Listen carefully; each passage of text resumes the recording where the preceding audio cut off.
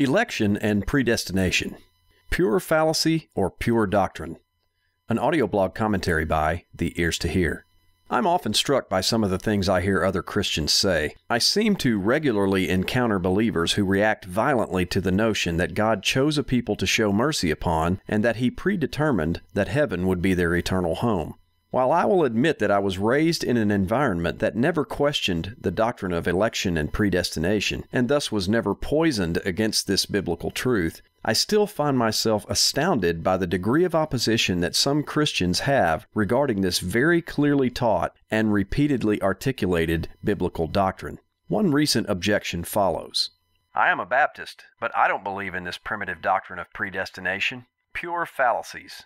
To such a statement, I can only respond Do you believe that God's people have obtained an inheritance in Christ, being predestinated according to the purpose of Him who worketh all things after the counsel of His own will? Ephesians 1:11. Well, Paul certainly did. Do you believe that God predestined us unto the adoption of children by Jesus Christ to Himself, according to the pleasure of His will? Ephesians 1:5. Well, Paul certainly did. And finally, do you believe that the Lord Jesus Christ has promised to give eternal life to as many as the Father has given unto him? John 17, 2. Well, Jesus Christ certainly did. Correct answers to those questions make it absolutely certain that the eternal salvation of God's people is the direct result of God having chosen a people upon whom to show undeserved mercy and hath predestinated their salvation as a matter of certainty by covenant.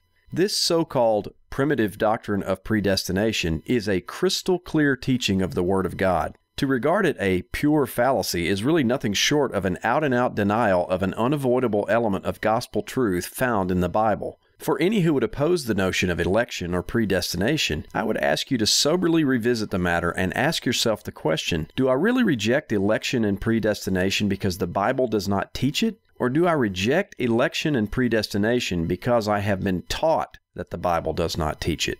There are a great many people who, upon closer examination, are surprised to discover that they are in the latter group. I would encourage everyone to search the Scriptures to see if these things are so.